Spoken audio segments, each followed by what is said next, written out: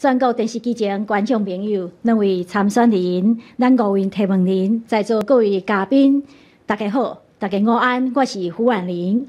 那么，二零一四年台北市长，根据各种的资料显示，这次的选举，在野阵营和执政党之间的距离不再遥不可及，而是充满了可变性。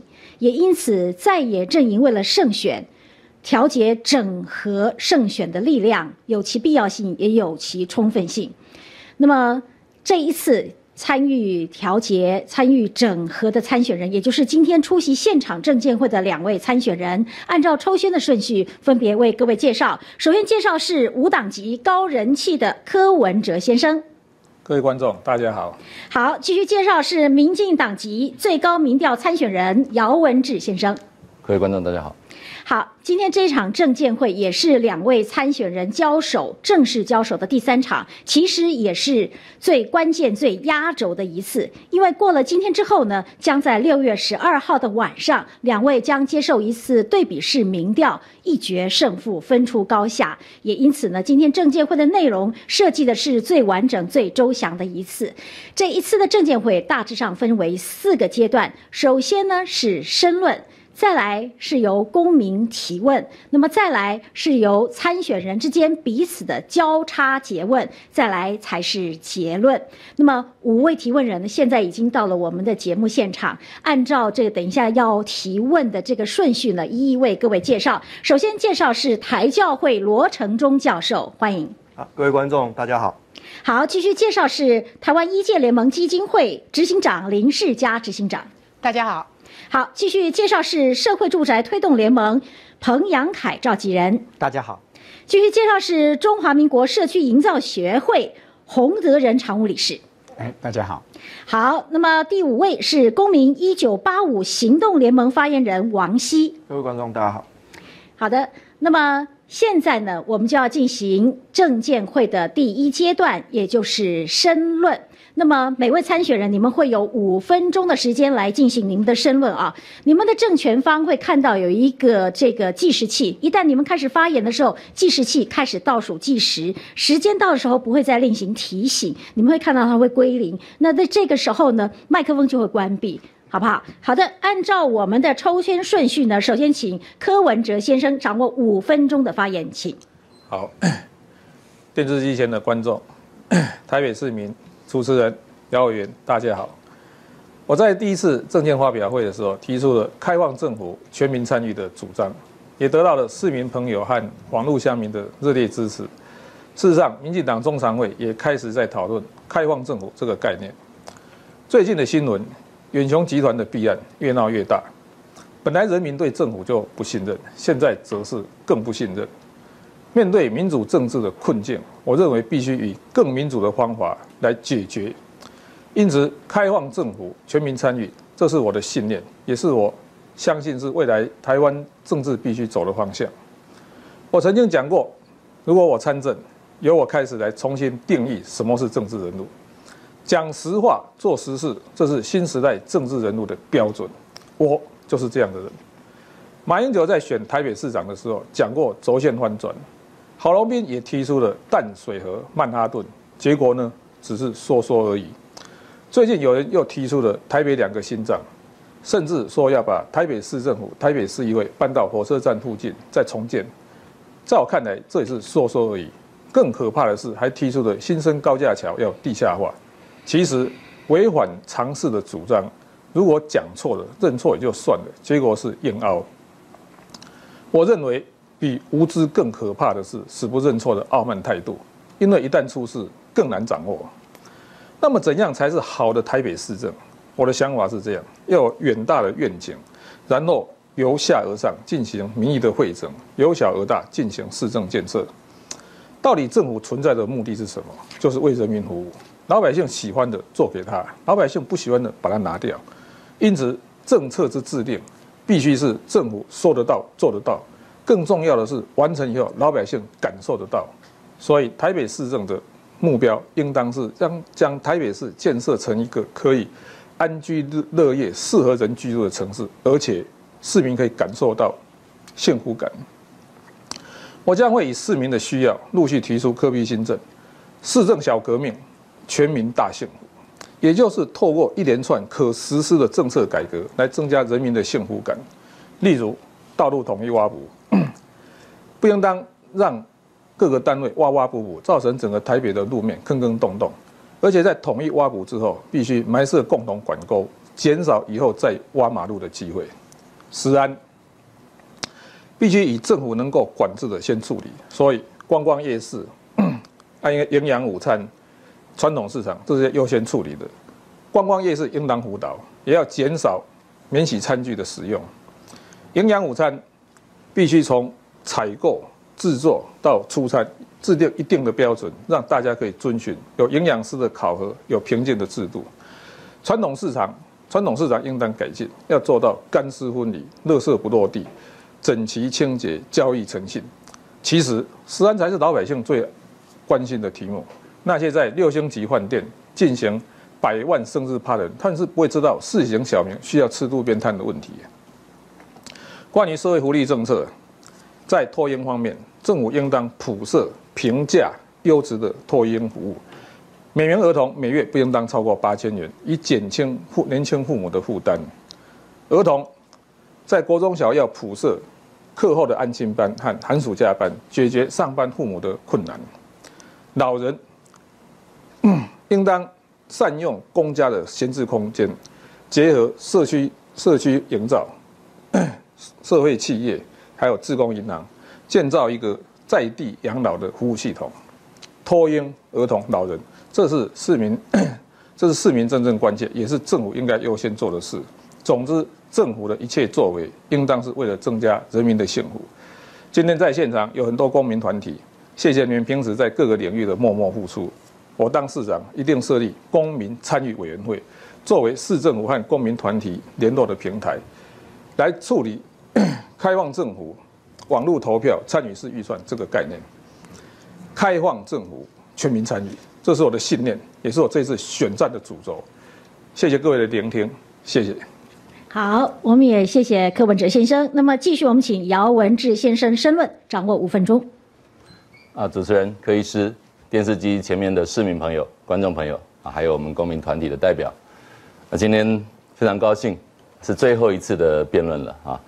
呃，我觉得我提出了两阶段民调的整合，到今天啊，我们透过这样的一个方式，其实正是柯医师刚刚所提的啊，怎么样让民主更民主啊，让让参与更开放，让所有的候选人啊，他的证件摊开在所有人面前啊，事实上。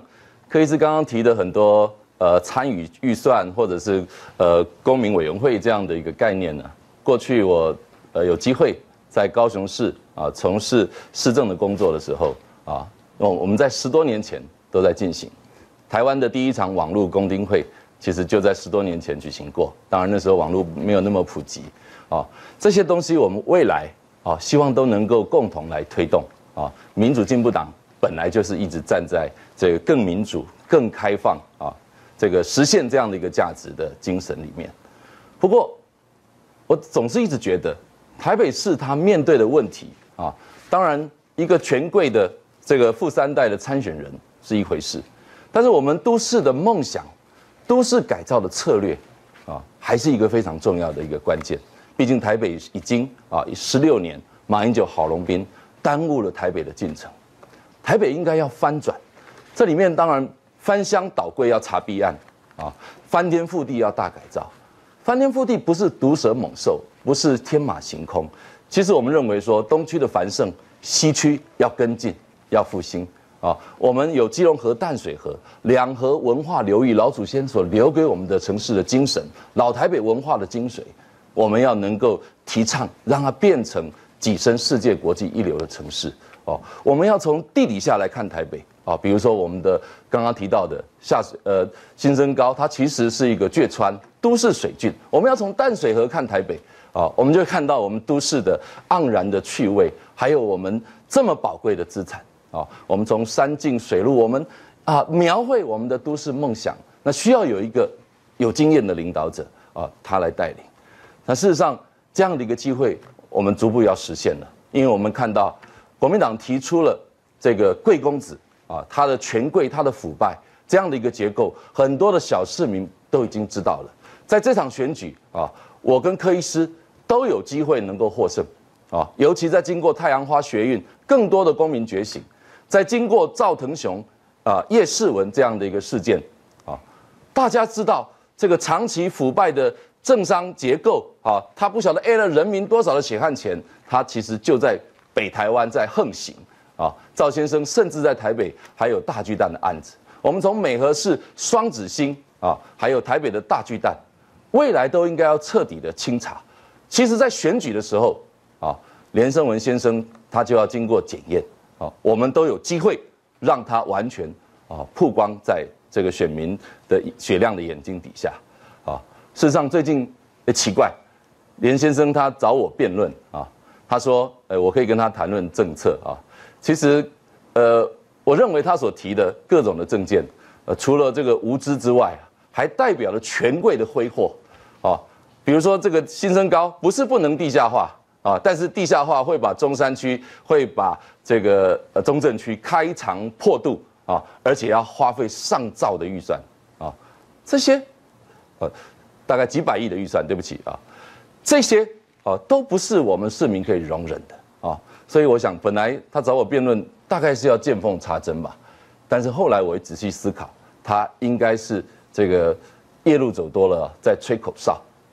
为什么在吹口哨？我这里要举这个连先生啊，他其实对着大家啊，他在参选，他一方面请他的父亲去中南海向习近平报告，一方面他过去的投资，他到亚洲其他城市啊去这个变更他的他的持股也好，或者是他的这个名义也好啊，他告诉大家，他要所有商业的职位都辞掉，但是。大家看一下这家公司，这家公司叫做大鲁格纤维公司。连胜文的职位在去年加入之后，董事的职位到现在还没有辞掉。这家公司可怕在哪里？它不但是国民党的二代都在里面啊，它其实未来要投资整个都市计划里面的市场、公园、地下街、儿童游乐场，这些全都是市长啊可以这个呃直染或者干涉到的相关的工程，这些我们要防堵。好，刚好时间到，谢谢姚文志先生。好，第一阶段的申论呢进行到这里，稍后我们再回到节目现场，邀请两位接受公民提问的考验。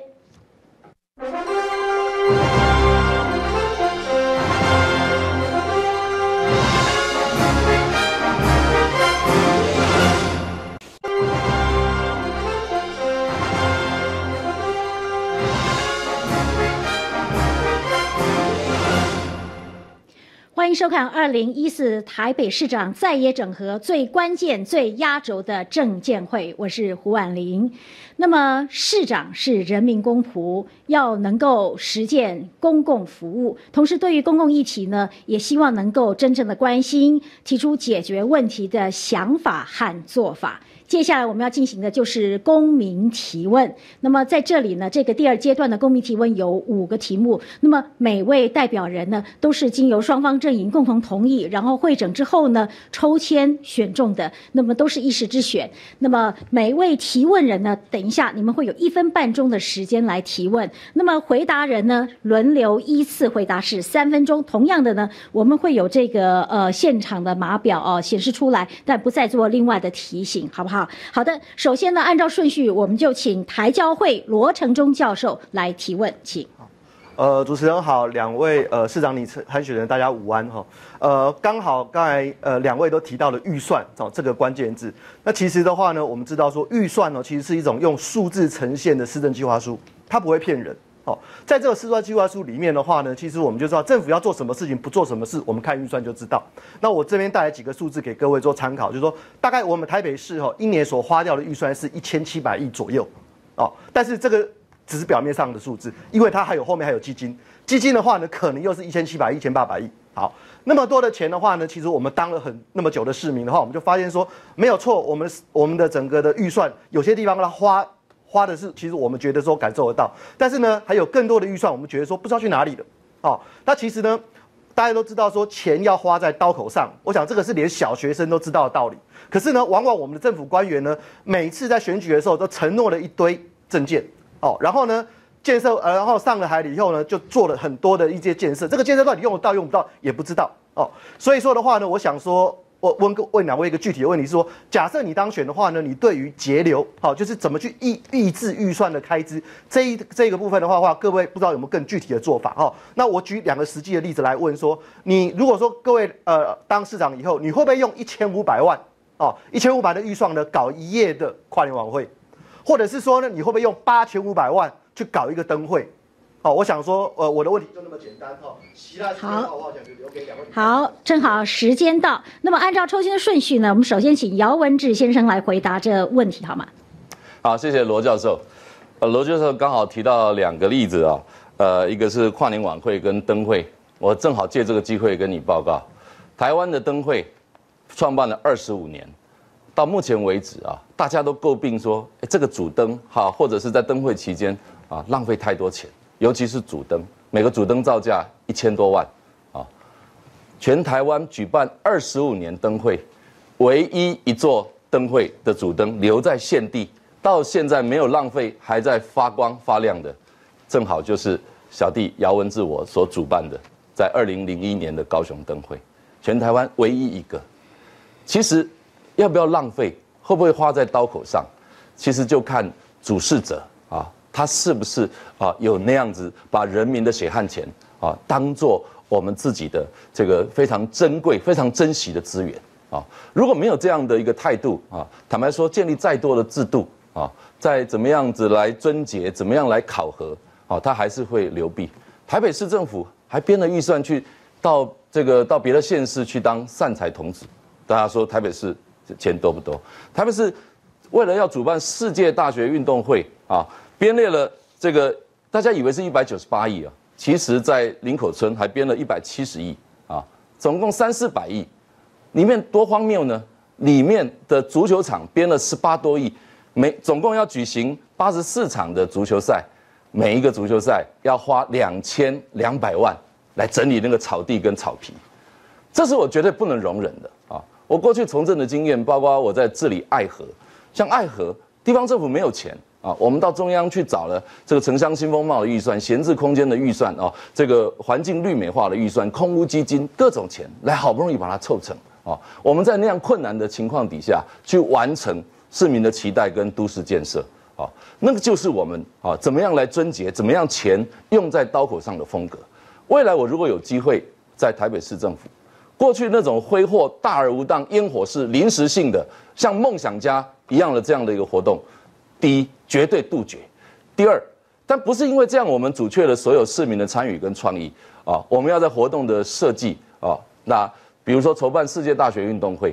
它能够啊思考到整个都市发展的方向，它能够把预算变成是除了举办这次活动之外，还能够带动地区的发展啊。比如说我们的足球、网球、篮球，我们要新建新的场馆啊，那让它未来呃真的是在各种运动里面呢能够发光发亮啊。怎么样把市政府仅有的资源创造最大的价值啊？这才是我们真正啊，比如说未来要办设计之都也是一样，我们本身就在设计啊，不是为了活动而活动，钱才会作为最好的运用。好，时间刚刚好，谢谢姚文智先生。继续呢，我们请柯文哲先生掌握三分钟时间回答，请。我们先思考一个问题：政府存在的目的是什么？就是为人民服务，老百姓喜欢的做给他，老百姓不喜欢的把它拿掉。我在这半年当中，在台北市所谓的城市小旅行。我去过四大商圈、五分埔市场、市营夜市去看过，我后来才发现，其实这些商圈普遍都需要一些共同的建设，比方说公共厕所，比方说停车场，还有招牌路线规划，甚至这些瘫痪的管理。请问，台北市政府会比当地的里长、比当地的自治会更清楚吗？不会。我现在住在新一路，我就发现，我们的仁爱路、信义路天天在挖马路，然后。人行道挖了再补，补了再挖，倒过来问，郝龙斌市政府做的这些是我们要的吗？所以在我刚才的例子，我们可以发现一件事情：老百姓喜欢要做的，政府不会做；老百姓不喜欢的，那政府每天都塞给他，包括那一种一个晚上烧掉两亿元的烟火。也为了解决这种政老百姓喜欢的跟政府做的之间的一个差异，我才提出参与式预算这种概念。参与式预算是这样，我们有一定的额度。开放公民来提案。那在经过专家审核通过或市民投票通过以后，我们再把这个议 议案拨给各局处去执行。倒过来，各局处的预算在送市议会之前，先上网公告，进行一个外部审核的机制，让公民团体、专家或市民来审查，找出其中是哪些是可以删的，到底是不是我们需要的。也就是说。在政府的作为跟老百姓的需要之间，我们用透过参与式的预算的方式，让老百姓对预算可以提案、可以审查，可以让这个差距达到缩小。对刚才所说的大型活动，这就是一个例子。我的想法是这样：像这些灯会的哈跨年晚会，如果是来当市长的话，这就是可以开放让市民来提案，所以让市民的提案更有创新的点子，也更贴切他们的需要，甚至他可以交给民间去主办。因此，开放政府、全民参与，这是我一贯的理念跟想法，也会把它落实在我。如果来当市长，我会把它落实在我的市政当中。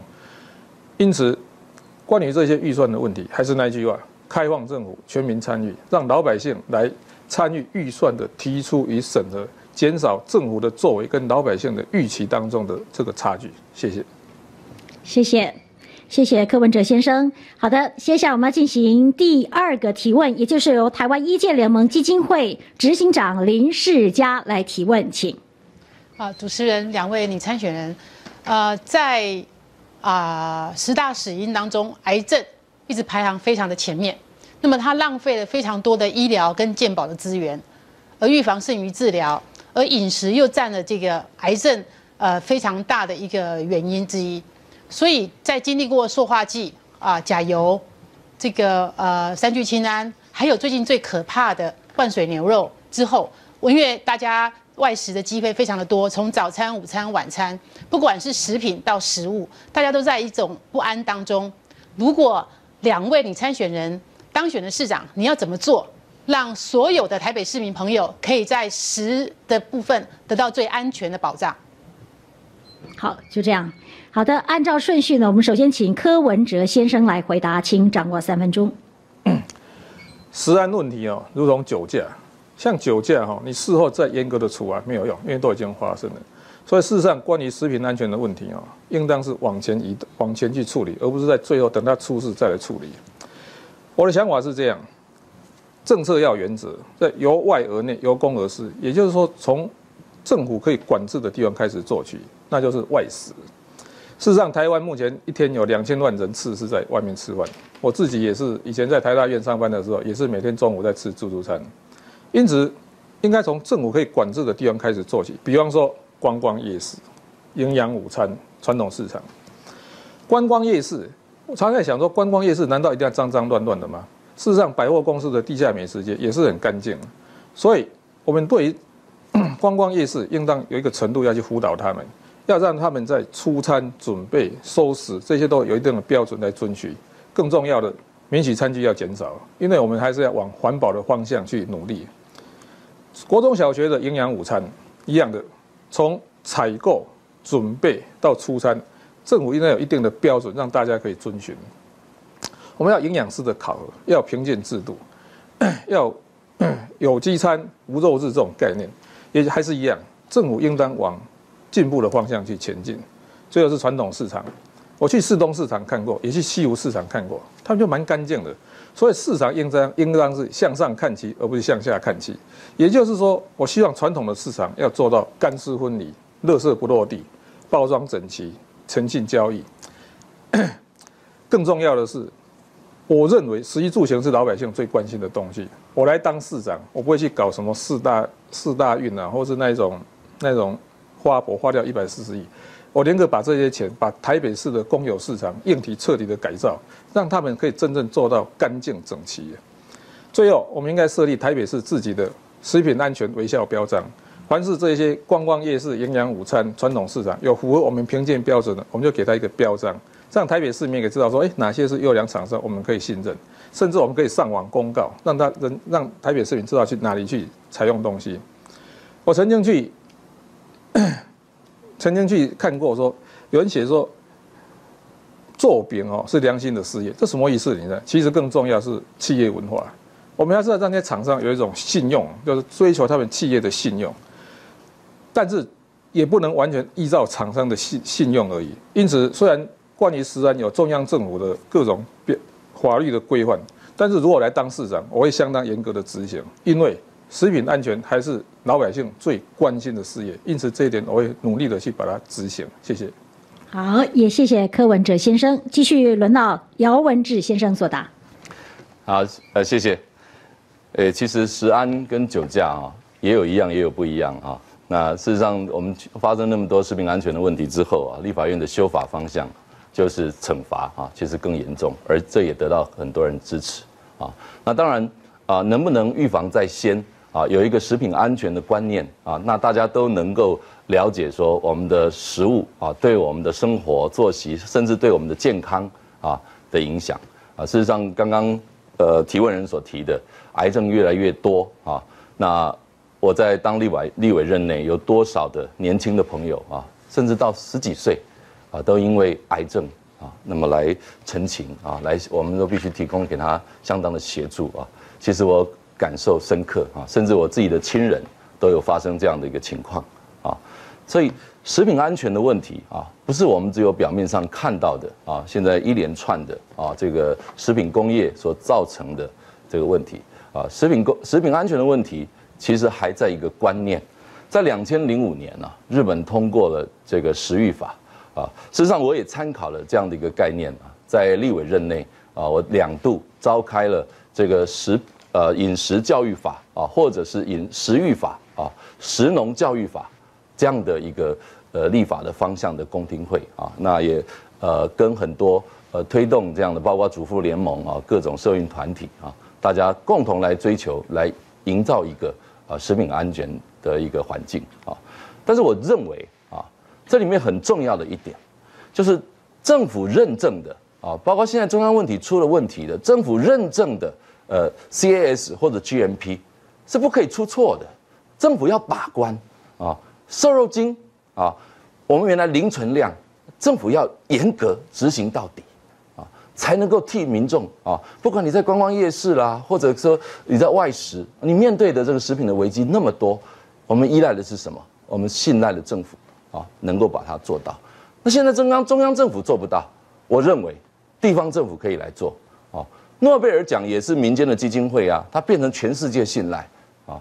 那如果台北市政府，觉得说中央政府做不到，我认为台北市政府可以挺身而出，台北市政府来建立一个食品安全的认证机制，我们来推动，让全国的民众来信赖啊。那这样子我们会把关的非常严格啊。那当然我提到的食品的观念啊，在地的食材如何保鲜，或者是说机改的食物啊，我们能够能够避免啊，或者它的食品加热以后的盛装物。啊，这些能够让很小的小朋友，大家都有相关的概念的时候，啊，我们在有机食材，我们在小农市集，甚至我要推动未来小朋友的营养早餐，这些都可以来帮助食品安全的实践。好的，谢谢姚文志先生。那么，继续到了这个住的问题，尤其是社会住宅是当前的热门议题，所以接下来这个提问，我们邀请到社会住宅推动联盟彭阳凯召集人来提问，请。啊，两位好，呃，两位的证件都有主张说要来推动只租不卖的社会住宅。顺着这个，我就问三个问题。第一个是说，假假使你们当选，从一个市长两任八年的任期来看，你们对未来推动社会住宅有没有一个具体的推动目标？那我这样问的是，因为马总统也跟我们说要推动社会住宅，可是因为他没有目标，所以什么都做不出来。第二个事情是说，如果你们要达成你们所提的目标，你们具体推动落实执行的机制是什么？例如说，你们要不要提升市政府住宅单位的层级？你们要学日本、韩国成立一个住宅法人，真正来推动新建跟管理，以及推动社会住宅永续的裁员机制在哪里？这是第二个问题。最后一个问题是，社会住宅从国外的经验来看，都是先用先以经济跟社会弱势的群体为首要的照顾对象。可是目前我们中央的住宅法到目前台北市的经验，反而只留给百分之十留给弱势。然后，如果大家知道说台北市依据调，台北市需要社会住宅弱势住户大概有三万户，所以说各位如呃两位如果当选之当选之后，你们未来推动社会住宅，同不同意要提高给提供给弱势的比例要提高，往百分之十往上提高？谢谢。好的，我们先请姚文志先生作答，请掌握三分钟时间。好，呃，非常谢谢这个问题啊。其实我刚刚所提到的。啊，我们要推动一个空间改造，它是一个社区营造所推动的内需成长啊，这是一个都市翻转非常重要的机制啊，它会落实在几个层面啊。第一个，我过去一直提的，我们的松山机场现建区啊，这些经由政府啊扮演实施者啊，杜绝建商炒作，然后来做一个社区总体营造的这样的一个都更方式啊，那它是第一种模式，第二种。现在建商不爱的啊，在柱山的土地大概有百分之六十八，那这些九万栋的四五层楼的公寓，政府应该积极呃介入啊，来产生一个公益型的公办都更啊。那这些这些钱从哪里来啊？这些由政府的都更基金跟银行的融资啊，然后慢慢的、逐步的啊，一个社区接一个社区的来推动啊。刚刚的问题说具体的目标。大概是要说多少户啊？台北市呃弱势者的需求是三万户啊，但是真的总体的需求应该十来万户啊。那马英九要花十多年啊，才告诉我们说可能只有这个三四万户啊，当然是这个没有办法做到啊。但是社会住宅的推动的量，坦白说，我在这里没有办法具体的答复，他必须要透过几个方式来实践啊。第一个方式啊，市府的。或者是国有的现在低利用的公有地啊，我们先完全保留为绿地，但是来规划哪些区域啊，符合它的社会发展或者是产业的需求，它让年轻人跟弱势者可以规划为社会住宅，这是由政府直接兴办社会住宅。第二种就是我刚刚所提的啊，我们应该在县建区给予部分的这个补偿性的容积，还有刚刚所说的老旧住宅给予公益型的容积补偿，在。透过那样的政府参与的过程里面呢，去全力变换，去抽取啊社会住宅，也就是说，本来我们如果是五层楼，未来可以盖到这个十八层或二十层，那中间啊中间呃差不多十二层到十六层，呃这些由这个政府抽取作为社会住宅，那这样的住宅，这样的社会住宅呢，避免邻避的效果，那同时它是跟社区融合在一起啊，那管理上。啊，刚刚有提到说住宅法人啊，我是主张成立住宅与都更局啊。我认为台湾未来要通过住宅法人，可能还一段时间啊。那在议会比较能够接受，可以直接监督的啊，这由这个住宅与都更局，我们扩大人力，让专业的人才跟资源，还有都更基金来投入台北市现在迫切需要的这个都市改造，同时透过这个都市改造。来实现居住正义，也就是现在问题所在的社会住宅，我们让它一区接一区的产生。谢谢。继续，我们也请柯文哲先生掌握三分钟作答，请。高房租、高房价的确是目前民怨所在。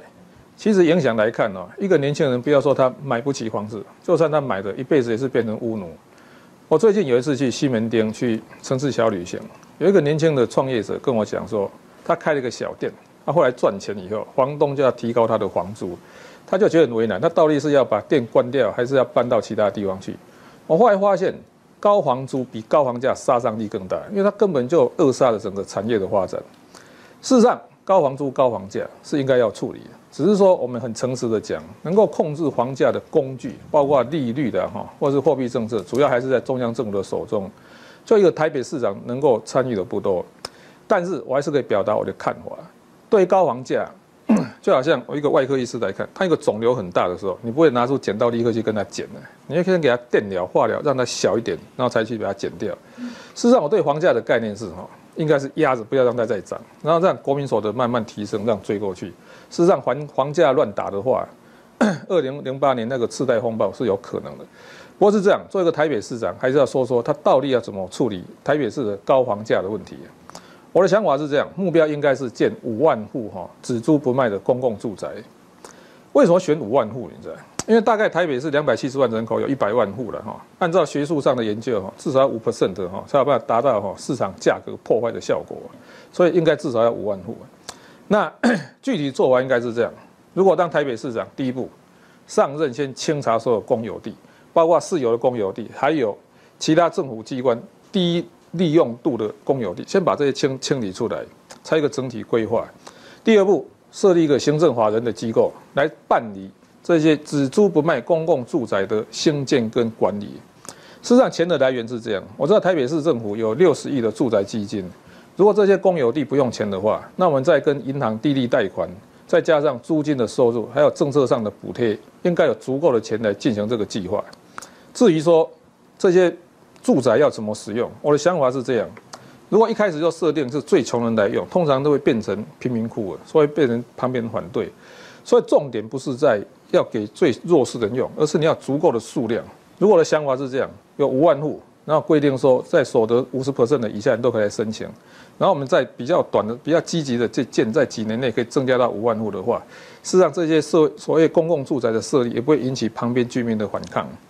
不过是这样，所有这一些还是要有心跟有有决心去执行。有一个业者跟我说，目前台北市政府一个都更案送出去，从送出去送进去到告诉你有过没过。要七年半坦白讲，我派只乌龟去送公文都比这个快，所以还有很重要的是，重点不在政策，还要有决心去把它做好。好，时间到，谢谢柯文哲先生。那么公民提问呢，已经完成了三个，因为是两位参选人轮流作答，所以其实真的时间非常紧迫哈，让两位其实可能会有点喘不过气来。我们现在稍事休息，然后再回到节目现场继续后续的流程，稍回来。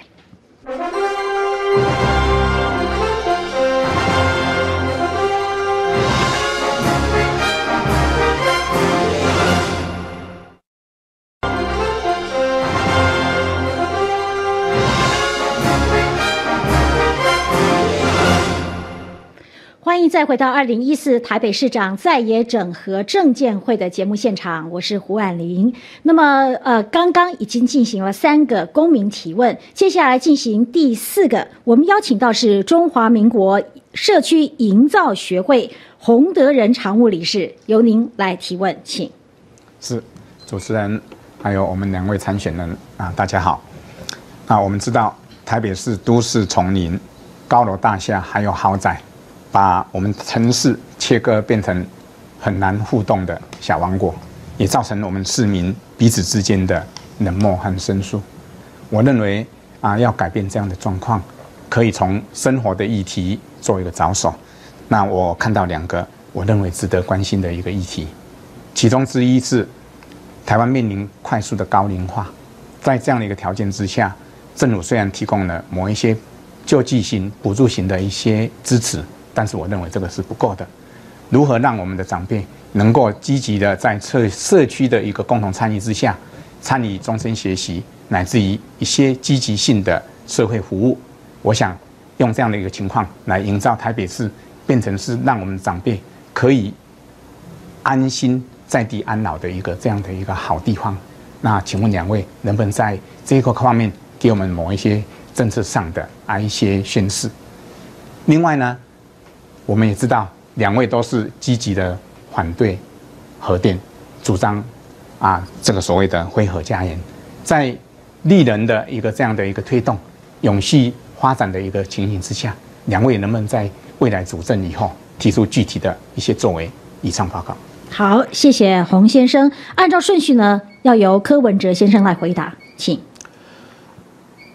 今年三月。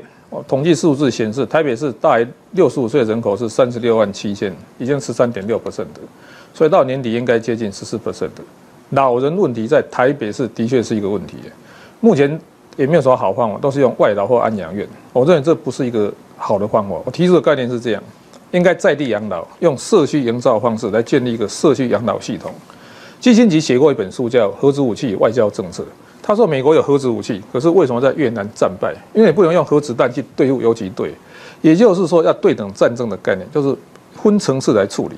在一个社区当中，如果老人身体还好，其实他只要一个社区活动中心，甚至我们一个自工或社会企业来让这些老人有一个地方去。如果情况再差一点，我们有这种社日间的托老所，那包括附设老人餐厅。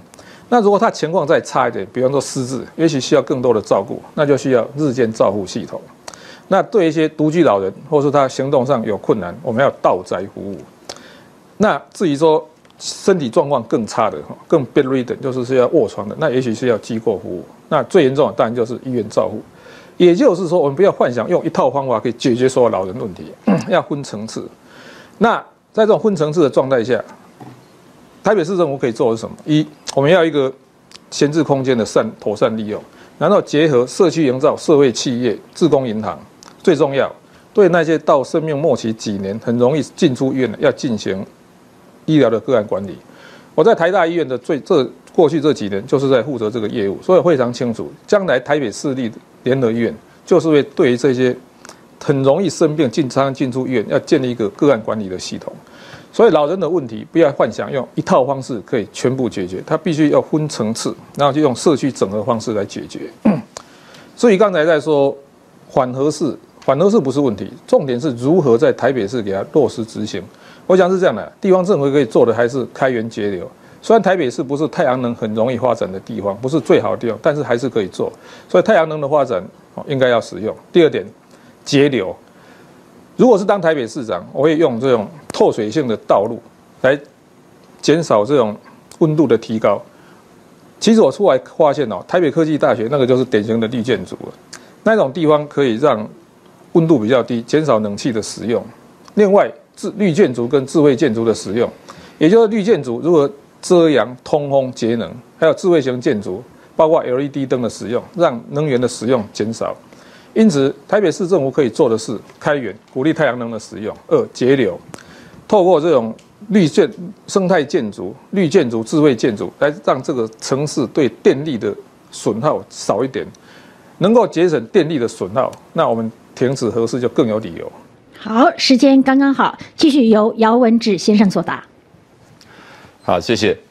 哎，其实停止核试啊，呃，已经不需要这些理由啊。那停止核试，呃，一个核废料没有办法处理啊。台湾面临的这个几大，尤其是大大台北地区啊，面临着世界最危险的两个核电厂啊，还有核四啊，我们当然要呃完全啊来阻却呃这样的。呃，核能发电呢，继续在台北啊。我主张要推动一个非核城市啊。那非核城市跟非核家园啊，本来就是我们的目标啊。那我认为未来应该要做几件事情。第一个啊，继续要推动这个电业法的修改，让不电力不是只有台电一家垄断啊，它才可能打开呃各种再生能源啊的替代空间啊。那台北市。如果这个可以打开的话，台北市未来应该设立一个再生能源公司啊，各种能源的可能性啊，不是只有太阳能啊，潮汐、风力啊，或者是台北市呃在阳明山区恐怕有的地热，这些都经过专家的研究啊，未来来推动台北市啊，它能够共同来负担啊这个呃电力热能的推动啊，那这样的一个方向底下啊，当然我前面有讲到啊，我们的。这个社区的营造啊，我说空间驱动的这一个整个社区的改造里面呢，我希望未来这个社区啊，崭新的都更过后的社区，它就是一个呃智慧的绿建筑啊。透过智慧绿建筑的推动，我们有智慧电表啊，那来产生这个节能的效应啊。然后啊，我们呃这样的一个社区啊，它当然啊也可以来进行这个托育啊跟托老啊，老龄高龄化的问题。我们希望创造哦更多的这个老老年人他们互动参与啊实践他们梦想的机会。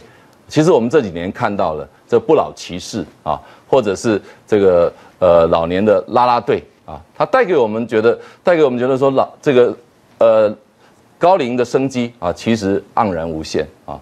我们还是可以看到呃年纪虽然大，他们的梦想还有。我们应该要创造那样的一个机制啊。当然。刚刚柯医师所说的这个社区的照顾，不管是日间的托老、临时的托老啊，或者是社区型的，能够政府介入，让民营让他能够在地啊，更能够呃离家啊更近的照顾，这些当然我们都支持啊。但是呃恐怕啊一个比较呃机构型的啊，比如说我们在台北市十二个分区里面都有一个都有一个机构型的这个照顾中心啊，变成是这个高龄者啊，他们可以来参与啊，不管是学习啊，参加老人社区大学啊，或者是参与活动，或者一起来构筑啊他们的呃置业跟梦想的这样的一个机会，我觉得都是一个可以推动的方向。谢谢姚文智先生。好的，那么进入第五个公民提问，我们要请到公民一九八五行动联盟发言人王希先生来提问。主持人好，两位参选人好。呃，我们公民一九八五行动联盟最关心的是公民公平正义的问题。我们同时也认为，一个市长他应该具备的能力是如何从广大的民意当中判断出什么是人民真正的需求，以及如何就这些需求去定出一个优先顺序，以及提出具体解决方案的。规划能力，我们想请两位说明，呃，说服广大公民，呃，你如何说服说你拥有这样子的总体规划能力？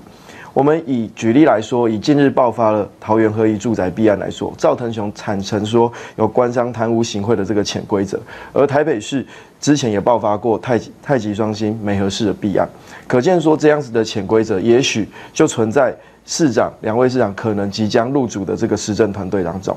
但过去政府首长，例如总统马英九，他面对这样的弊案，他只会去强调个人的清点，但是他往往都用不知情，都是部署的错，都是累的错，这些推卸责任的理由来带过，无视人民希望解彻底解决贪污潜规则的真正需求。想请教两位的是，如何说服广大公民，你有能力，还有具体的方法，可以定定怎么样的程序来彻底解决这样的贪污潜规则的问题？你要如何确保？建立一个正义连人的政府，不会只是一句口号。甚至如果你的团队也一样发生这样的问题，你会勇于承担解决问题，而不是推卸责任、切割部署。好的，针对这问题，我们请姚文智先生先回答。事实上，我从事公职很多年啊，那我在呃高雄市政府任内啊，参与很多的都市改造啊。那时候我三十几岁啊，我们马上一进市政府，马上碰到一个问题，就是说。过去国民党所留下来的啊那些陋习、那些潜规则啊，我们常常一见啊，其实不要花太多钱的一个设计案或者是一个工程案啊，不断的经过设计绑材料，不断的绑标啊，那透过很多不同的关系啊来呃希望啊在这里上下其手，这就是过去的这个结构。今天啊这个赵腾雄这些事情啊，合一住宅所衍生的弊案。就是里面它有庞大的利益啊，它才能够那样的潜规则在那里这个顺行。我过去在出从政的时候碰到那些，诶，坦白说也是鼻青脸肿哦。为什么？因为要去参加一顿饭局，都要非常小心呐啊。过去如果没有经验，呃，不小心，呃，因为朋友找了去吃了一顿饭，都可能衍生后面很多的这个误解跟流弊啊。所以因为有那样的经验，其实我非常清楚。呃，要改变这些潜规则，要杜绝官商的勾结。好，未来台北市啊，比如说我们在推动这个公办都跟我刚刚我刚刚呃一直不断在强调啊，政府要积极介入来做，要排除什么？要排政府呃来主导的公办都更呢？其实建商是要被排除的啊，政府接受廉政单位或司法单位或议会的监督啊，但是好好的把。这个相关的土地或者是呃改建案、社区的需求、公共的这个呃需求，通通表现出来啊，然后啊设计好了，才由建商啊他去发营造标啊，他是低标啊来抢标啊，这样的一个方式啊，我们透过制度啊，像合一住宅这样的呃建商有暴利可以送大红包啊，这样的制度马上就杜绝啊，我觉得从制度上去调整。然后行政首长啊，要能够呃率领这样的一个领导的风气啊，上行下效啊。如果在上位者非常清廉，也了解所有的弊端所在啊，不管你的用人或者你推动的制度或者的每一个环节都可以克服。台北市政府过去马英九、郝龙斌啊，马英九有美和事，郝龙斌有太极双星啊，未来可能还有大巨蛋，那这些都是主政者啊。他要回避责任啊，他任由下属啊，其实到底是不是任由下属，我们都不清楚啊。未来希望司法单位能够彻底的调查啊，他任由那样的一个机制，让这些潜规则，让这些政商的勾结啊，形成一个呃非常混乱的温床在那里滋生。未来我应一定想办法啊，来杜绝这样的一个温床。好，时间到，那么轮到柯文哲先生作答，请。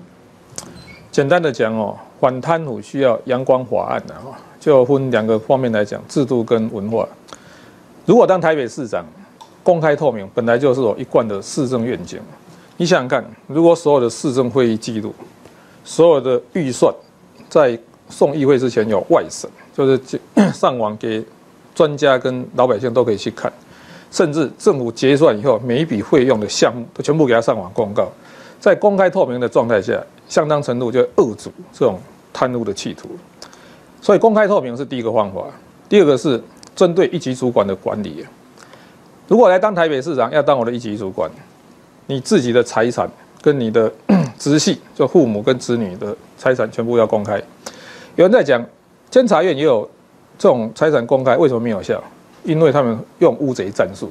我查过哈，目前监察院呢，公务员需要财产申报的哈，超过十万人，所以在一大片当中就抓不到了。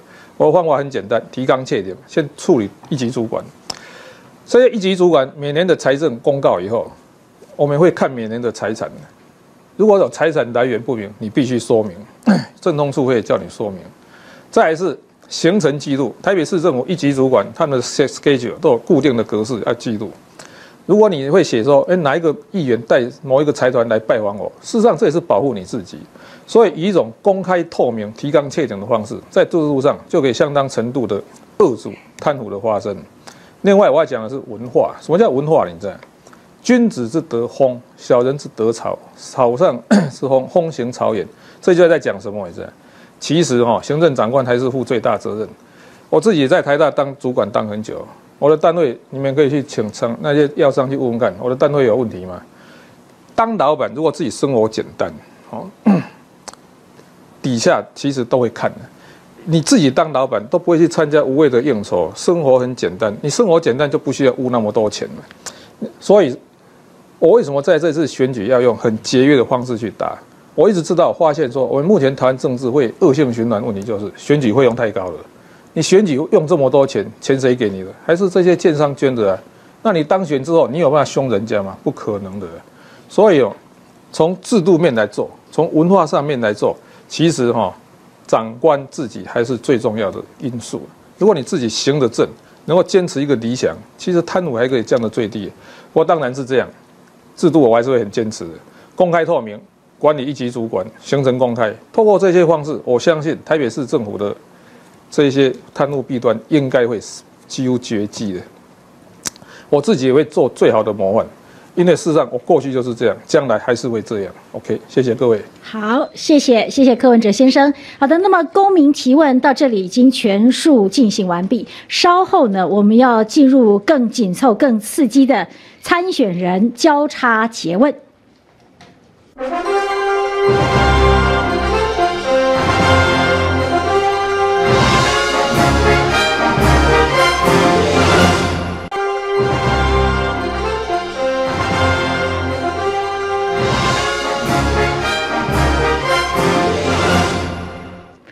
欢迎再回到二零一四台北市长在野整合证监会。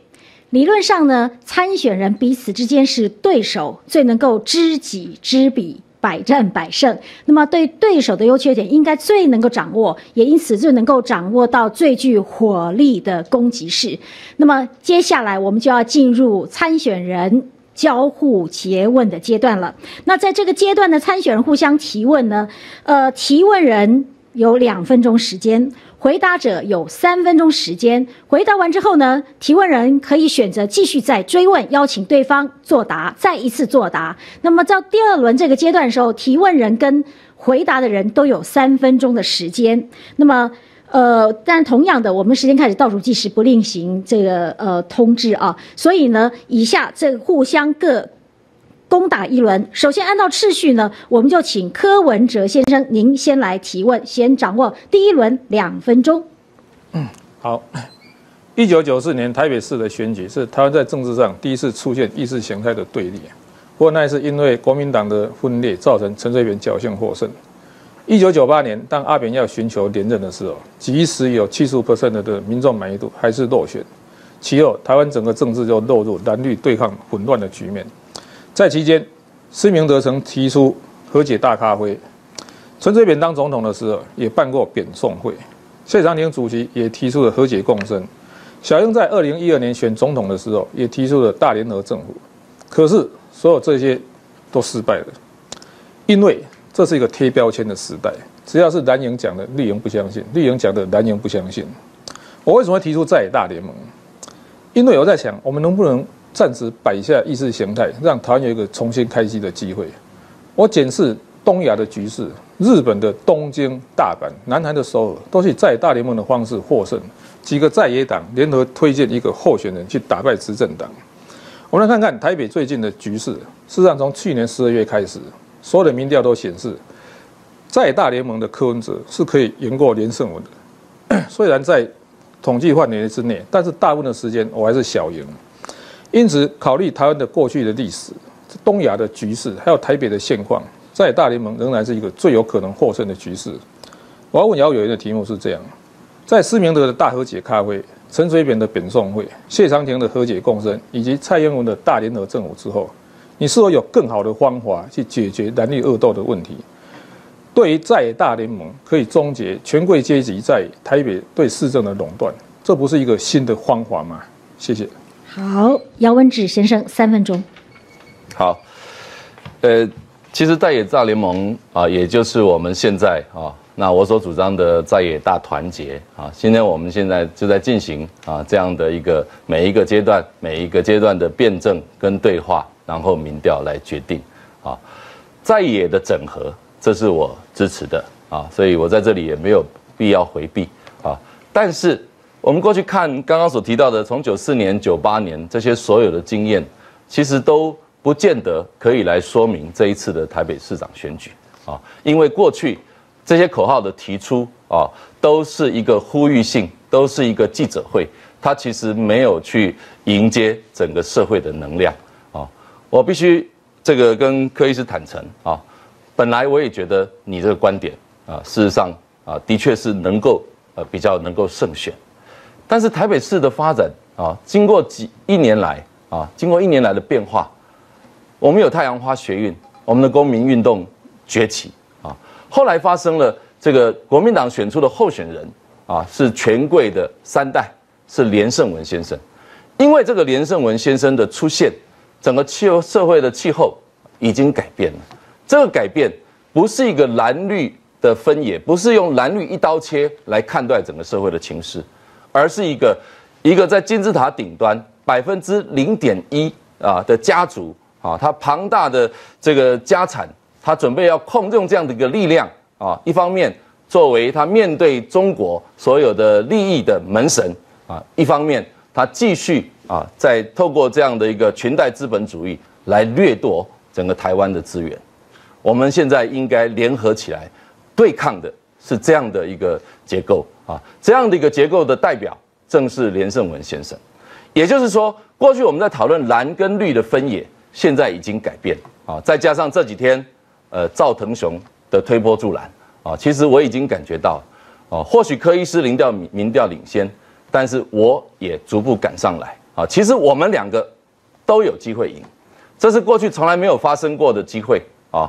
或许我们这个透可以透过这样的一个机会，我们把过去台北政治上空这种意识形态的幽灵，我们一步把它赶走。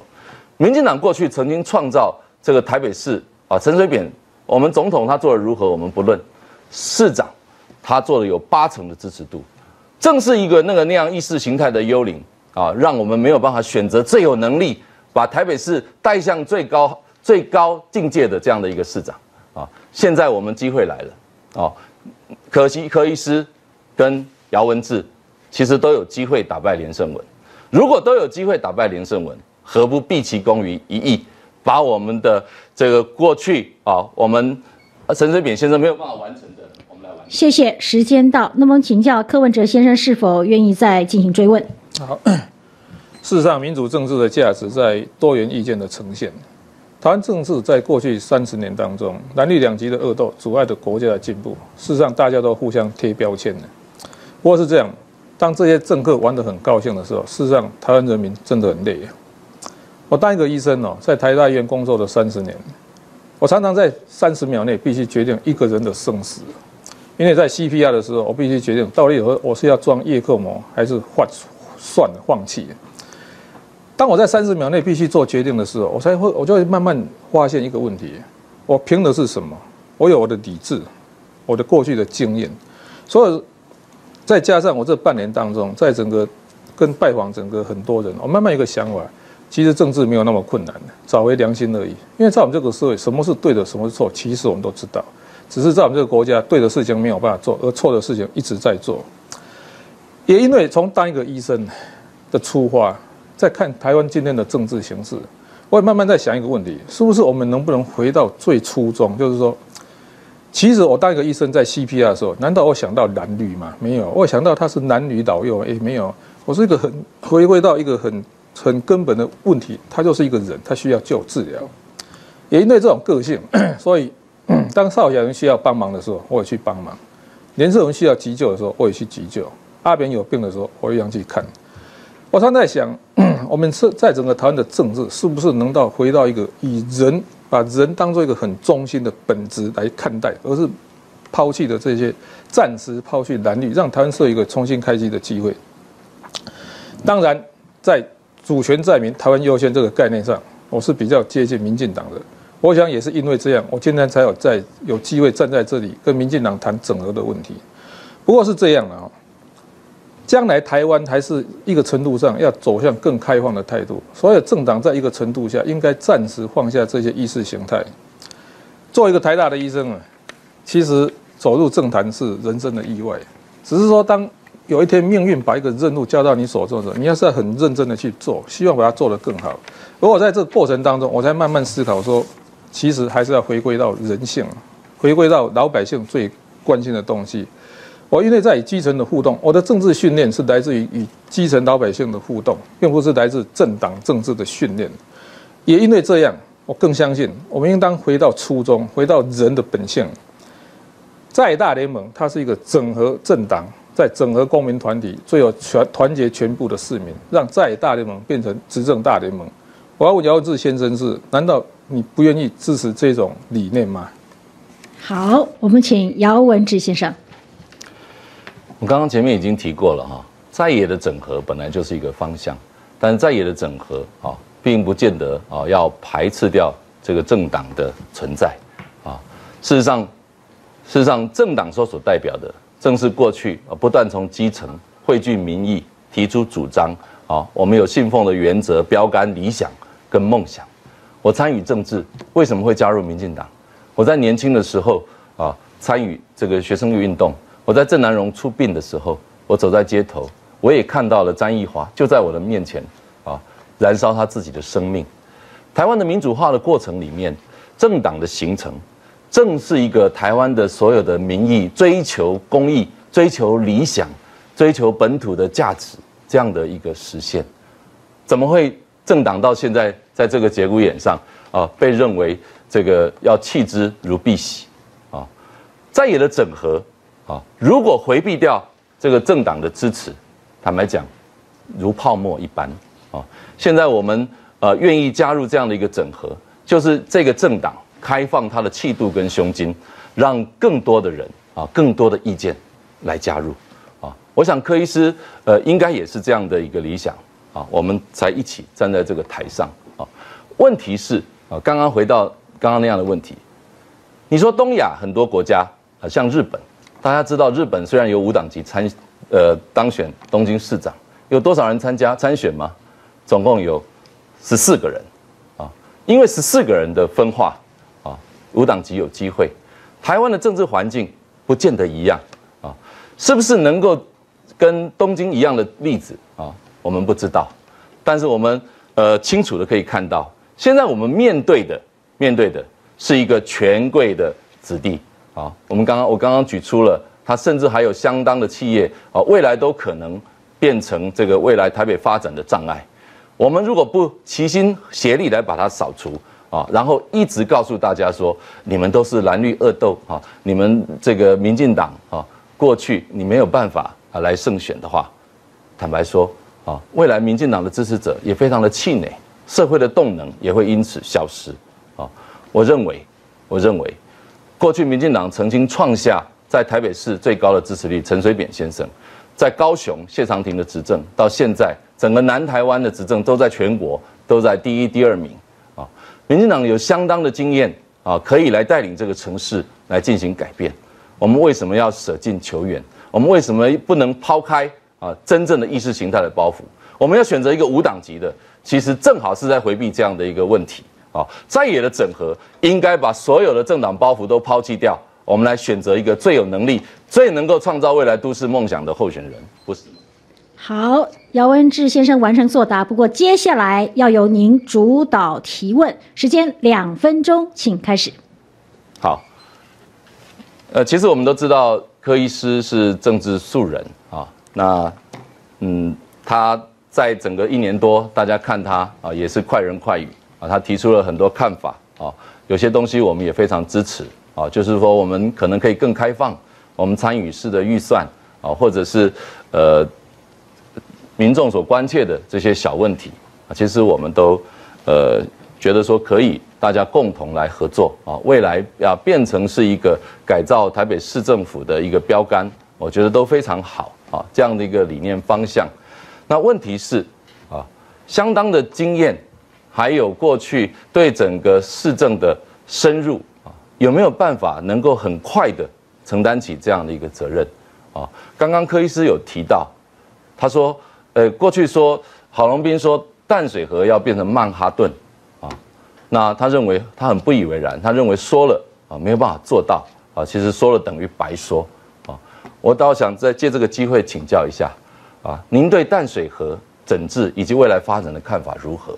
整个水岸，啊，我们到底要如何的规划啊，才能够发挥这个淡水河作为一个台北市的母亲之河啊，来形塑整个都市的这个气氛啊，以及创造我们整个城市市民生活更大的价值啊，这些东西，呃，这些目标啊，淡水河啊，你的想象是如何？呃，未来你要进行什么样的工程？你能不能呃给大家有所承诺啊？还是说你认为？呃，既然过去的承诺都不算数，所以我也不必承诺啊。请教柯医师，也请你来告诉我们一个方向。好，首先我来说明一下哈，传统在我们中国上，在这种中国人的社会哈，对政治首长的概念哦是不对的。事实上，在《资治通鉴》里面有一次，汉文帝问宰相陈平说。也我们一年有多少劳役？一年有多少这个税收？这个问到左丞相的时候，周勃不敢，周周雅是不敢回答。问陈平的时候，陈平说，劳役的问题问那个管刑狱的，那个税收问那个管钱粮的。那皇帝就问他，那那你当宰相是干什么的？他说，当宰相上辅佐天子，下集合众臣。那 辅，也就是说，事实上，当老板最重要的工作是什么？他要找到对的人，摆在对的位置，在对的时间做对的事，然后后在事后再去考核。因此，其实是这样的哈，这种很细节的东西，其实不应该去问市长。其实市长最重要是价值、文化、风气。事实上，更重要的是我们要找到适当的人来处理这些问题。不过是这样，淡水和曼哈顿呢，这个计划为什么搞得乌烟瘴气？一个很大的理由。因为台北市跟台北县，就是以前当朱立伦跟郝龙斌，单单一个华龙州，谁要坐在前面，都会吵架摆不平，最后还要两个人，只好说坐在坐在一个平面。我想是这样的哈。事实上，这个就是一个很重要原因。为什么淡水的整治失败？因为连合作都有困难所以每次讲，比知识更重要是态度。什么叫态度？你到底想不想跟人家合作？所以天下自大，会一人所能独治。有很多东西并不是一个首长，我什么都懂。我现在可以跟跟大家讲，那是不切实际的期望。还是那句话，当老板最重要工作是什么？找对的人，摆在对的位置，在对的时间做对的事，然后事后再去给他考核。老板最重要是价值的提出，文化的坚持，一种思想文化的建立。或是这样，台北本来就是一个应该要清水城市。我也知道淡水河，从基隆河淡水河这一些都应该要要把堤防拿掉，有这种什么生态光滑的，让老百姓可以看到河了哈，有有这种水是可以清的。但是我要很很清楚的指出来，台北市的下水下水道污水接管率算很高，但是只要新北市不合作，还是不会，那淡水它还是不会清的。甚至如果桃园的污水继续排放，它还是不会清的。所以很重要的事情还是那句话，比知识更重要的是态度。态度说到底，我们想不想去问人家？我们想不想去跟人家合作？这才是真正解决问题的方案。这也是我现在要表达的意见。谢谢。好，谢谢。那么，请问姚文智先生是否愿意再追问？呃，不一定追问了哈。不过我还是没有办法很理解哈。也就是说，其实刚刚我们公民提问的时候，比如说在问这个老高龄化的时候，如果你也回答说这是这不是知识。这应该是态度啊，还有刚刚我们应该要风行草野，哎，好像也可以哈。那事实上，我看了很多科医师过去所主张的，呃，包括像公益社会、呃，文化城市、呃，开放、参与式预算，这些价值我们都支持。但是如果，哎，如果把它摆在高雄市，是不是也一样？哎，摆在台南市，台南市有一条运河啊，哎，好像也一样。呃。首长当然不必要，所有的问题都很深入，都很了解。但是我现在所请问的是，台北市的母亲之河，每一任的市长，啊，他其实都要有一个看法，都要有一个态度，一个目标，甚至描绘一个愿景，让大家了解。我其实非常担心啊，从我们所有的讨论里面啊，有些我看到了具体的，但是都是比较细微的。我们到底都市发展的方向，啊，怎么样来承接这个都市继续继续转动啊？时代的巨轮在走，现在这个市长扮演这么重要的角色。台北市已经让马英九、郝龙斌衰败了十六年了，这个淡水河、黄金曼哈顿早就证明是一个谎话，而我们的母亲之河对我们来说还是遥遥无期，啊啊，我也没有办法从柯医师这个嘴上。啊，听到任何的期待，我认为，啊，未来的市长，他非常重要的，啊，台北市的都市翻转要基于都市的基本精神，而这个都市是由淡水河发展起来的，啊，我们的河岸的治理，啊，我们的水岸空间要怎么样来活化？啊，刚刚柯医师所提到的堤防不是把它打掉啊，哦。现在的气特殊气候提防，我们还是要保留。但是有没有走有没有比较好的设计的功法啊，让它破堤啊，让人民可以亲近河岸啊，让淡水河污染可以解决啊，让加速啊，我们也拜托新北市加快啊，然后让淡水河的污染减轻啊，然后疏浚能够完成，蓝色公路呃能够实现。大家知不知道，在日本时代啊，淡水河是一个我们重要的命脉。啊，甚至还有水上飞机场，我一直非常向往台北市做一个水岸城市啊，政府能够规划梦想，能够付诸实践。未来如果我当市长，我三年内让淡水河疏浚，让整个水岸啊重新改变。台北市要从水来看这个城市，台北市要变成一个水岸的城市，这不是细节，这是一个作为一个首长对都市的期待跟梦想。好，我们请柯文哲先生三分钟时间。事实上哦，在我的竞选口号里面哦，改变台湾从首都开始，改变台北从文化开始，这是一场以文化为主体的社会运动。实际上是这样的哈，台湾在整个世界的生态上本来就是一个非常丰富的地方，不仅在生态上丰富，因为事实上从海从海岸哈到三千公尺的高山，在二十公里内就可以达到。台北市是一个有山有水的城市，不仅是只有淡水河，事实上还有阳明山呢，所以应该是这样的哈。第一，台北是一个生态城市，多元生态的城市；第二，台北是一个历史上多元的文化城市，因为在三百五十年的历史当中，我们经过了荷兰、西班牙的殖民，还有郑成功、清朝、日本到国民党政府的一连串的这种统治，台湾不仅是。不只是在台湾啊，整个台北，但是台湾的缩影，它是一个多元生态的城市，也是个多元文化的城市。所以，对于淡水河的想象空间是这样。其实台北市不只是淡水河，还有阳明山。台北市是这个山跟水混合的城市。不过是这样的啊，我为什么要提出愿景？你知道？其实很多想象不仅是我来想象，有两个考量，第一个居民的想象，老百姓的想象，另外一个是实际上到底可行不可行，也就是回回归到科学的问题。比方说基隆河，我也想过说把那个堤防拆掉不是很好吗？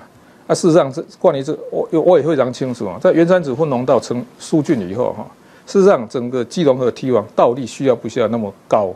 是不是可以拆掉？是不是改用生态工法让这个堤防降低，让它变得比较平缓？可是老坦白讲，这些问题并不是市长马上有办法回答的，因为这在牵涉到太多的专业问题。我会懂这些，是因为这老实跟你讲，因为当时我问过李登辉总统，他就跟我说，那个要算那个百年黄洪频率到底多少，才能决定到底基隆河两岸的这个堤防要不要拆。所以要回答是这样：，作为一个市长，他是代表人民来执行一个任务，他是人民喜欢的做给他，人民是不喜欢的把它拿掉。当然。对，我也知道台北是一个山跟水都非常丰富的城市，但你但但是这些合适要怎么整峻？除了我自己的想法以外，我也必须倾听人民的意见。但还有一个更重要的，科学的数据。我一直很不喜欢我们台湾这个社会哈，常常就嘴巴随便讲一讲。我在当外科医生的时候哈，我们常常讲一个笑话，就是说哈，不要手术成功病人死掉，或者说哈，我们当一个外科哈，不要变成口腔外科，就希望哈。钦差公共啊，比那种挑议有什么用呢？所以我觉得是这样的哈，请听人民的意见，然后要尊重专家的意见。那如果人民喜欢这样，在实科学科学的实务上是可行，那我也会遵守。那这是我对市政的一个想象跟空想象的态度。谢谢。好，谢谢柯文哲先生。那么，这参选人彼此的交叉诘问进行到这里全数完毕。稍后呢，我们再回到节目现场进行结论。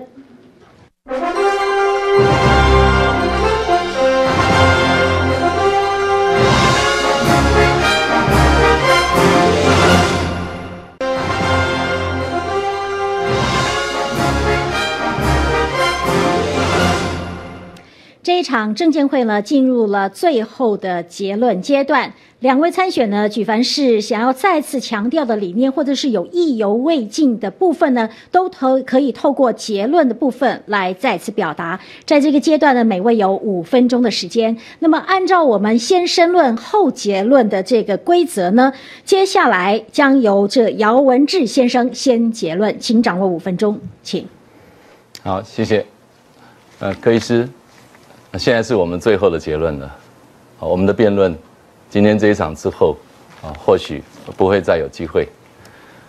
我非常的高兴啊，我们能够创造这样的一个在野整合的机会，啊，其实我也愿意借这个机会来告诉大家，民进党代表本土啊进步的力量，要负起责任，要接下时代的重任。我是杂货店之子，我的父亲开杂货店。啊，我的太太，她是白，他们家里是白色恐怖啊，枪杀两个人，是政治受难者的家庭。我小时候读市东国小，啊，曾经蒋介石出殡的时候，我们必须跪在地上，像北韩一样。啊，我在野百合学运的时候，发表了第一个政治演说。啊，我在大学参与呃社会运动、政治运动。啊，郑南荣出殡的那一天，我一直记得。詹义化就在离我十公尺，牺牲他的生命，啊！因为这样的运动，台湾开启了民主的进程，我们开始展现了一个多元、丰富的生命力。这是我用生命，啊，用我青春的岁月，不一步一步去参与实践，啊！我在二十几岁的时候选择投入这个行业，啊，它不是一个行业。它是马克思韦伯所说的一个置业，啊，我们希望在台湾各个我们可以努力打拼的任何战场，啊，我们都全力以赴去创造所有人民啊大家共同追求的梦想跟价值。我曾经跟着谢长廷到高雄，我们一起创造了高雄梦。高雄在非常少的预算，在短短的期间，啊，脱胎换骨。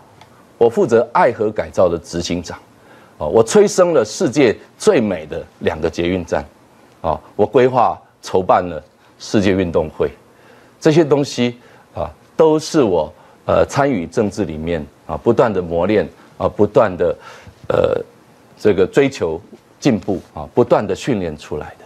我说过，呃，我参与了都市的手术啊，这些经验让我回到台北来以后，我认为我可以胜任这样的工作，我可以知道我们都市未来发展的方向。张忠谋昨天说啊，政治的领导要做好两件事：第一，要找出一条路；第二，要有人跟随。啊，我认为我可以找出台北的路，而这个台北的路是过去民进党啊很多的同志，尤其在台北，陈水扁先生啊，或许他当总统大家有不同的意见，但是他担任台北市长的时候，创造了台北市啊有史以来啊从未有过的。这个高度的满意啊，是一个台北市真正实现快乐梦想的时代啊！我希望我可以追随陈水扁市长、谢长廷市长、陈定南先生在宜兰，我追随这样的一个有梦最美啊，希望相随，绿色执政，品质保证这样的一个梦想跟实践啊！我期许我自己，对于台北的破坏，台北的每一个环节，包括我们的。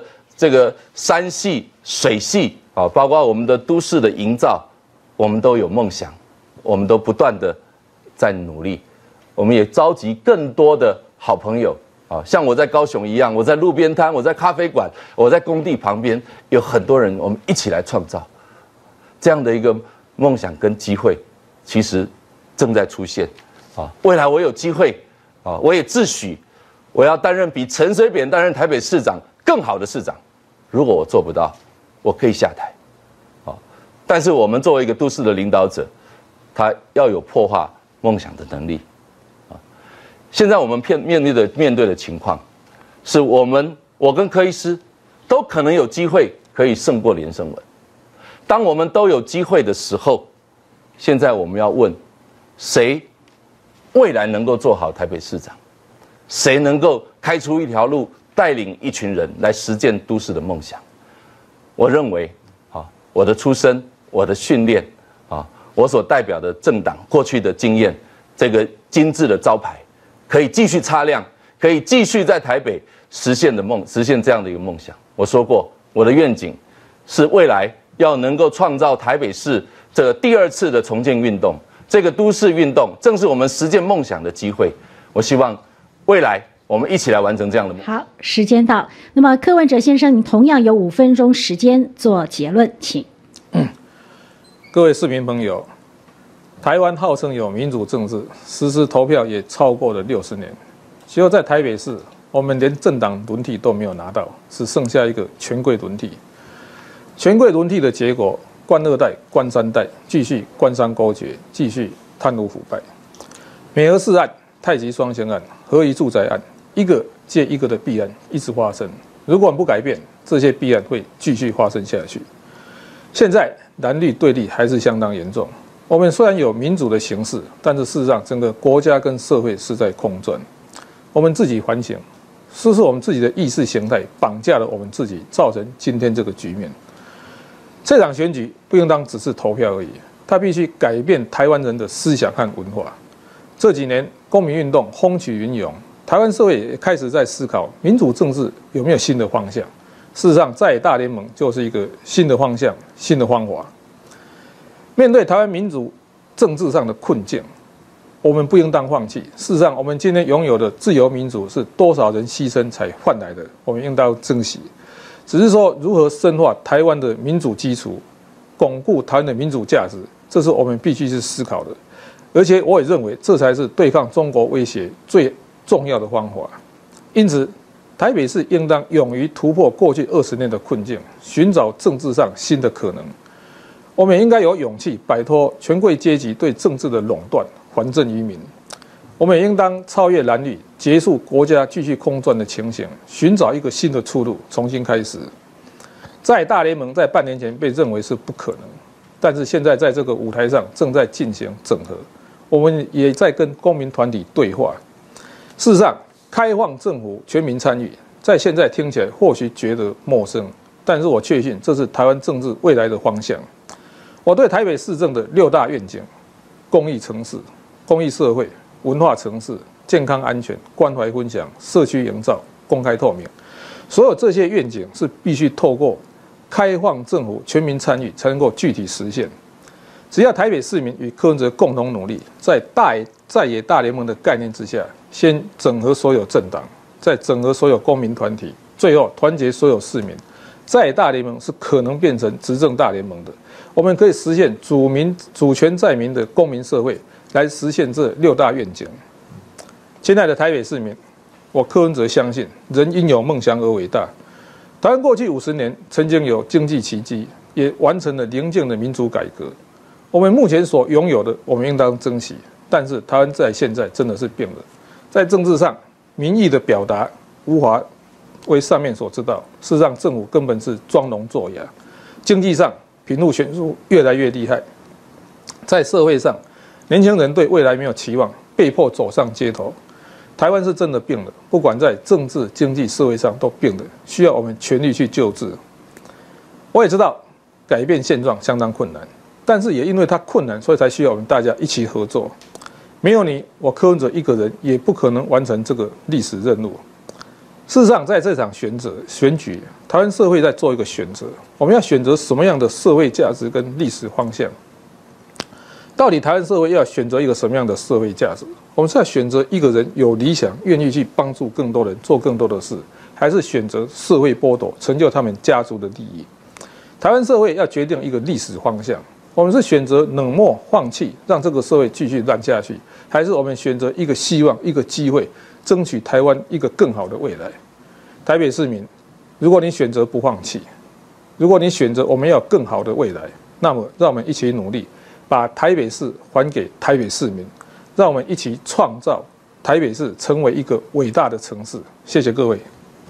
好，还有一点时间。不过今天这个证监会的程序已经顺利全数完成，那也让两位出色的表现得以呈现。那么到底是无党籍的柯文哲先生，或者是民进党的姚文智先生能够出现呢？这个答案可能在六月十二号经过民调的竞赛之后，可能可以呈现。但不论如何，在野阵营呢都必须能够团结，才可能有最后的胜利的机会。也因此呢，进行到这里，是不是请两位步向前来，经过一番唇枪舌剑呢，展现一点君子风度，来握手？